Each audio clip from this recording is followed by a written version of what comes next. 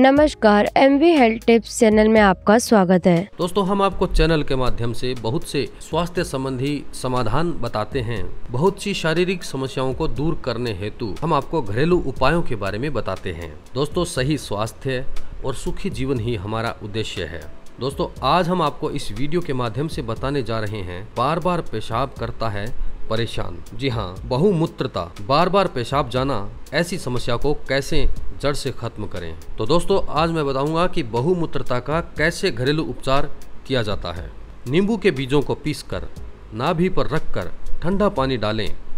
इससे रुका हुआ पेशाब खुलकर आएगा। जीरा जीरा और मिश्री दोनों को पीसकर फांकी लेने से रुका हुआ पेशाब खुल जाता है। नारियल नारियल मूत्र को साफ़ करता है, इसलिए अधिक से अधिक मात्रा में नारियल रस पिए। ककड़ी का रस लेने से मूत्र अधिक बनता है, तथा मूत्र अधिक मात्रा में आता है।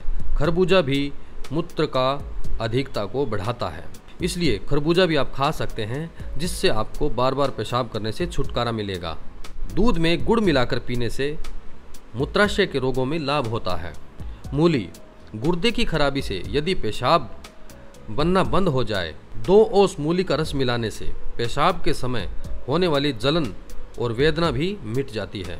अजवाइन अजवाइन और तिल मिलाकर खाने से बहुमूत्रता ठीक हो जाती है। तो दोस्तों, यह थे आसान से और सरल उपाय जिनके द्वारा बार बार पेशाब की जो समस्या है, उससे आप छुटकारा पा सकते हैं। उम्मीद करता हूँ कि आपको हमारी यह वीडियो पसंद आई होगी। प्लीज़ हमारे चैनल को सब्सक्राइब कीजिए। धन्यवाद।